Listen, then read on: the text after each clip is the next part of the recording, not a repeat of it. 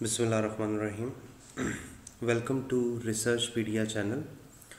मैं अपने सुनने वाले नाजरीन, व्यूअर्स, इनसे रिक्वेस्ट करूँगा, अगर उन्होंने रिसर्च पीडिया का चैनल जो है वो सब्सक्राइब नहीं किया तो वो काइंडली सब्सक्राइब कर दीजिएगा और बेल आइकन को भी क्लिक कर दीजिएगा, ताकि आने वाली वीडियोस आप गौर से सुन सकें, देख सकें, और जो नॉलेज मैं डिलीवर करना चाहता हूँ, उसको आप गेन कर सकें।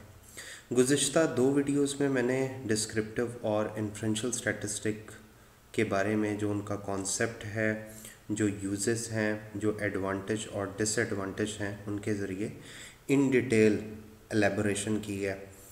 आज की इस वीडियो में, जो कि वीडियो नंबर थ्री है इस टॉपिक के हवाले से, उसमें मैं इन दोनों का difference theoretical point of view से और टेक्निकल पॉइंट ऑफ़ व्यू से एक्सप्लेन करने की कोशिश करूँगा।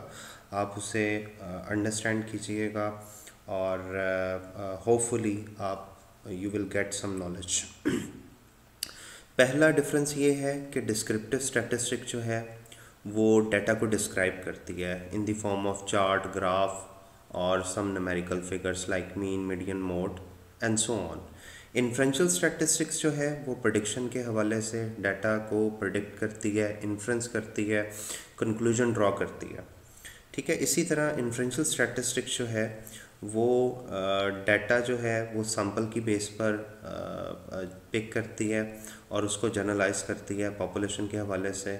जबकि डिस्क्रिप्टिव स्टैटिस्टिक्स जो है वो उस, उसके लिए हमें पॉपुलेशन या सैंपल की ज़रूरत नहीं होती we just need a data set चाहे वो स्मॉल हो लार्ज हो, वो हर तरह के डाटा को समराइज़ करेगी, उसको डिस्क्राइब करेगी, उसको जो है वो एक मीनिंग मीनिंगफुल फॉर्म में जो है वो उसको प्रेजेंट कर देगी। अच्छा इसी तरह जो इन्फ्रेंशियल स्टैटिस्टिक है, उसमें आप हाइपोथेसिस टेस्टिंग कर सकते हैं, उसके ज़रिए जो है वो डाटा को जनरलाइज कर सकते हैं एक ब्रॉडर पॉपुलेशन में। इसको मज़ीद अच्छे तरीके से अंडरस्टैंड करने के लिए एक टेबुलर फॉर्मेट में मैंने इन्हें अरेंज कर दिया है। मसलन जो पहला डिफरेंस है वो ये कि जो आपकी डिस्क्रिप्टिव स्टैटिस्टिक है, उसमें आप अपनी टारगेट पॉपुलेशन को डिस्क्राइब करते हो, जबकि इन्फ्रेंशियल स्टैटिस्टिक में आप अपनी टारगेट पॉपुलेशन के हवाले से इन्फ्रेंस ड्रॉ करते हो जनरलाइजेशन करते हो, अपनी टारगेट पॉपुलेशन के हवाले से on the basis of sample ठीक है जी? उसके बाद सेकंड डिफरेंस ये है कि आप डिस्क्रिप्टिव स्टैटिस्टिक में डाटा की कलेक्शन करते हो ऑर्गेनाइजेशन करते हो समराइजेशन करते हो और प्रेजेंटेशन करते हो. जबकि इन्फ्रेंशल स्टैटिस्टिक में आप डाटा का एनालिसिस करते हो कंपैरिजन करते हो टेस्टिंग करते हो और प्रडिक्शन करते हो, ताकि आप फ्यूचर के हवाले से कोई आउटकम जनरेट कर सको। तो ये एक सबसे बड़ा डिफरेंस है कि आप डिस्क्रिप्टिव स्टैटिस्टिक में डाटा को जस्ट कलेक्ट कर रहे हो ऑर्गेनाइज कर रहे हो समराइज कर रहे हो प्रेजेंट कर रहे हो but you are not in a position to make any form of decision making आप डिस्क्रिप्टिव स्टैटिस्टिक की हद तक किसी किस्म की कोई डिसीज़न मेकिंग नहीं कर रहे। आप कोई कंक्लूजन ड्रॉ नहीं कर रहे। You just are getting some bird eye view of the data कि डाटा जो है वो हमें क्या बता रहा है? इंफॉर्मेटिव uh, वे में वो हमें क्या बता रहा है? इन्फ्रेंशियल स्टैटिस्टिक में आप analysis comparison hypothesis testing prediction इन चीज़ों की बेस पे किसी किस्म की कोई डिसीज़न मेकिंग किसी किस्म का कोई कंक्लूजन ड्रॉ करने की कोशिश कर रहे हो, कुछ प्रोडिक्शन वगैरह कर रहे हो।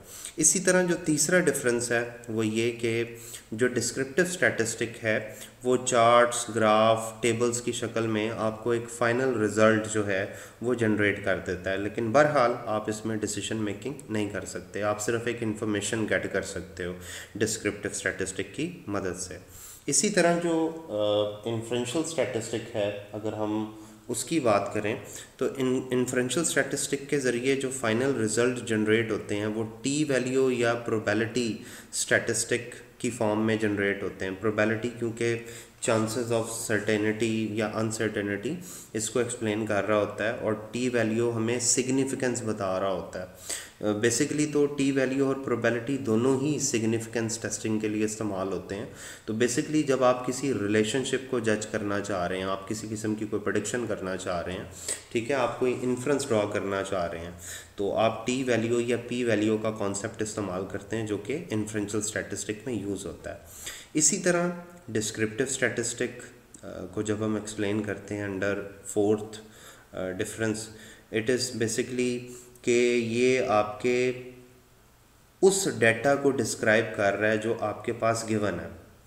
ठीक है? जो आपको नॉन है, जो आपका ऑलरेडी आपके पास एक डाटा मौजूद है, ये उसको डिस्क्राइब करेगा समराइज करेगा प्रेजेंट करेगा इनटू सम यूज़फुल इंफॉर्मेशन जबकि इन्फ्रेंशियल स्टैटिस्टिक की कोशिश ये होती है कि आप पॉपुलेशन के हवाले से जो कंक्लूजन ड्रॉ करें, वो अवेलेबल डाटा सेट के अलावा आप वो कंक्लूजन ड्रॉ करें। जैसे कि हम सैंपल के ज़रिए कुछ एक एलिमेंट का डाटा कलेक्ट करते हैं और हम पूरी पॉपुलेशन के हवाले से रिजल्ट्स जो हैं, वो जनरेट कर देते हैं। डिस्क्रिप्टिव स्टैटिस्टिक क्या करता है? डिस्क्रिप्टिव स्टैटिस्टिक सिर्फ़ उन्हीं एलिमेंट्स का रिज़ल्ट हमें बता सकता है। उन, उन्हीं एलिमेंट के बारे में हमें इन्फॉर्मेशन प्रोवाइड कर सकता है, जिन एलिमेंट का डाटा कलेक्ट किया गया है। जबकि इन्फ्रेंशियल स्टैटिस्टिक में आप सैंपल का डाटा कलेक्ट करते हो, जो कि पॉपुलेशन का एक पोर्शन है। और उस पोर्शन की बेस पे जो भी आपने एस्टिमेशन की, उस पोर्शन की बेस पे जो भी आपने प्रोडिक्शन की, उस पोर्शन की बेस पे जो भी आपने कैलकुलेशन की, आप उसको पूरी, उस पूरी पॉपुलेशन पे अप्लाई करने की कोशिश कर रहे हैं। आप उस पूरी पॉपुलेशन पे कंक्लूड करने की कोशिश कर रहे हैं, जिस पूरी पॉपुलेशन का डाटा अभी कलेक्ट नहीं हुआ। आपने सिर्फ़ सैंपल का डाटा कलेक्ट किया इसी तरह पांचवा जो डिफरेंस है वो ये कि जो टूल डिस्क्रिप्टिव स्टैटिस्टिक में इस्तेमाल होते हैं, उनमें जो दो मेजर कैटेगरीज हैं टूल यूज़ करने के हवाले से। एक तो सेंट्रल टेंडेंसी है, जिसमें आप मीन मीडियन या मोड कंप्यूट करने की कोशिश करते हो। इसी तरह दूसरा जो ब्रॉडर कैटेगरी है डिस्क्रिप्टिव स्टैटिस्टिक के टूल्स के हवाले से, वो है मैयर ऑफ़ डिस्पर्शन जिसमें आप रेंज स्टैंडर्ड एविएशन वेरिएशन या इस तरह की चीज़ें कंप्यूट करने की कोशिश करते हो। इन्फ्रेंशियल स्टैटिस्टिक में जो स्टैटिस्टिकल टूल्स इस्तेमाल होते हैं, उसमें हाइपोथेसिस टेस्टिंग है एनालिसिस ऑफ़ वेरिएंस है रेग्रेशन है एंड सो ऑन इसी तरह जब हम आगे चलते हैं डिस्क्रिप्टिव स्टैटिस्टिक जो छठा डिफरेंस बनता है, वो ये कि डिस्क्रिप्टिव स्टैटिस्टिक के लिए स्मॉलर डाटा सेट काफ़ी होता है। If you want to make some meaningful information the summarization of some meaningful information you just need a smaller data set inferential statistic में बहरहाल हमें एक larger data set की ज़रूरत होती है जिसके कुछ defined rules हैं आपको sample size collect पड़ता है और उसकी बेस पे आप डाटा uh, कलेक्शन करते हैं और उस डाटा कलेक्शन जो कि सैंपल साइज़ की बेस पर होती है, उसी के ज़रिए फिर पॉपुलेशन को आप कंक्लूड कर देते हैं। उसी के बाद सातवां डिफरेंस है जी। जो आपका डिस्क्रिप्टिव स्टैटिस्टिक का प्रोसीजर है, वो काफ़ी सिंपल होता है। उसे एक आम आदमी भी, एक कम पढ़ा लिखा शख्स भी जो है, वो आसानी से अंडरस्टैंड कर सकता है। लेकिन जो इन्फ्रेंशियल स्टैटिस्टिक के टूल्स हैं, ये थोड़े से कम्प्लेक्स होते हैं और इसके लिए कुछ टेक्निकल एक्सपर्टीज़ आपको चाहिए होती हैं। कुछ एडवांस टूल्स होते हैं, जैसे कि रिग्रेशन है एनालिसिस ऑफ़ वेरियंस है।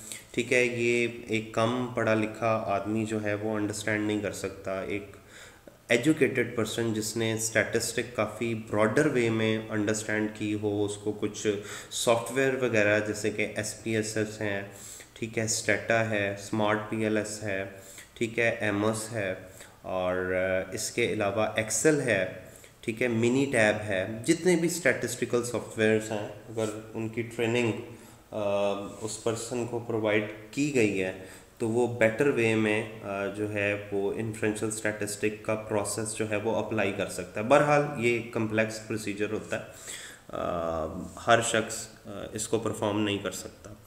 अच्छा जी, उसके बाद जो आठवां डिफरेंस है बिटवीन डिस्क्रिप्टिव और इन्फ्रेंशियल स्टैटिस्टिक के, वो ये है कि जो डिस्क्रिप्टिव स्टैटिस्टिक है, उसे परफॉर्म करने के लिए किसी किस्म की कोई सैम्पलिंग टेक्निक रिक्वायर नहीं होती डाटा कलेक्शन के लिए। आप जितना भी डाटा कलेक्ट कर पाएँ, आप उसी की बेस पे डाटा को समराइज़ कर देते हैं, उसको इंटरप्रेट कर देते हैं। ठीक है? आप किसी किस्म की उस पर डिसीज़न मेकिंग नहीं कर रहे होते जबकि इन्फ्रेंशल स्टैटिस्टिक परफॉर्म करने के लिए बहरहाल आपको कोई ना कोई सैम्पलिंग टेक्निक चाहे वो प्रोबेलिटी बेस्ड हो, चाहे नॉन प्रोबेलिटी बेस्ड हो on the basis of some reasons ठीक है? अगर आप प्रोपेलिटी बेस यूज़ कर रहे हैं तो उसकी भी जस्टिफिकेशन बहरहाल रिक्वायर होती है।